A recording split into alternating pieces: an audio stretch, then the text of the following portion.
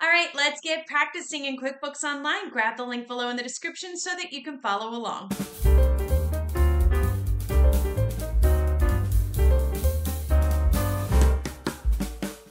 All right, here we are in the QBO Gym. The QBO Gym is a place where we have numerous hands on exercises that simulate real life scenarios that you may encounter as a bookkeeper. We come out with new exercises each month and break it down for you into four different sections. Today, we are going to be working in the March Year One cardio section where we really focus on those basic skills.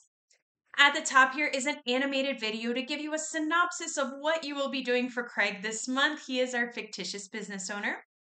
Further down is an interactive pre assessment quiz. Below that are the exercises in this section. And at the bottom here is an optional area where after you have completed all of the exercises in this section, we do have some sample posts that you are welcome to use on your LinkedIn to share with everybody what you have learned so far. So let's go ahead and get started with today's exercise where we're going to practice sending statements to Craig's customers. Go ahead and click on that link to have it pulled up for you. I have it here on the right hand side, so let's th- read through our scenario. Craig has several customers with overdue invoices. He'd like you to send them all statements showing the balance on their accounts, along with aging details so they can see how long they have been overdue. Let's see how to accomplish this. You will need to be in the sample company to do this exercise. If you are not sure how to get into the sample company or get your own free QBOA account, be sure to click on the link below in the description. I have the sample company up here on the left hand side. This is the dashboard and what it will look like once you sign in. So let's go ahead and get started with the exercise. From the left navigation bar, we're going to hover over sales and then select customers. So sales is over here, hover over that and then select customers. Now, the first thing we're going to do is look at only the customers that have overdue invoices. So we're going to click on the orange overdue section. And what this will do is just filter out all of the information down here at the bottom. We are only going to see those overdue invoices now. Let's go ahead and click on, a on the checkbox at the top of the column to select all the customers with overdue invoices. So that is right here. It's next to name. Go ahead and select that. And you will see there are nine um, outstanding or, oh, excuse me, overdue invoices um, for customers.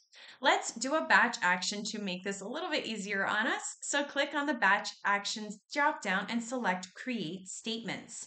That is right here. Click on that arrow, select create statements and you will get this page appearing for you. These are all of the customers that have those overdue invoices. Now, there are three types of customer statements that you could send.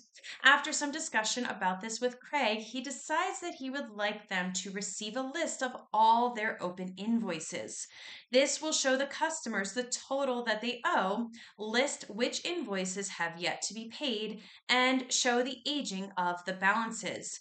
To, so, to ensure that we are uh, sending the correct statement in the statement type field, we want to select select open item. And this will show all of the information that Craig is looking for.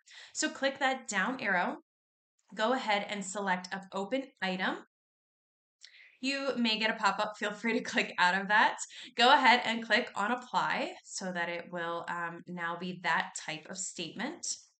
If you want to see what it looks like, you would go ahead and click on print or preview. That is down here on the bottom of the black bar. Go ahead and select that and you will see what it will look like for each customer. Now, at this point, you could go ahead and click Save and Send um, after we get out of this screen. Um, but since we can't do that here in the sample company, we're just going to exit out of everything. So you can go ahead and click on the X right here once again, there is that save and send button. You could click on that in real life scenario uh, to actually send it directly to the customers, but we're not going to send it here. So all you need to do is just click on the X to exit out of this screen. And that's it. That is how you would send statements. And if you have any questions or want to know more about the QBO Gym, just click on the link below in the description we move through the cardio section with our next exercise where we practice customizing invoices. And I will see you in the next video.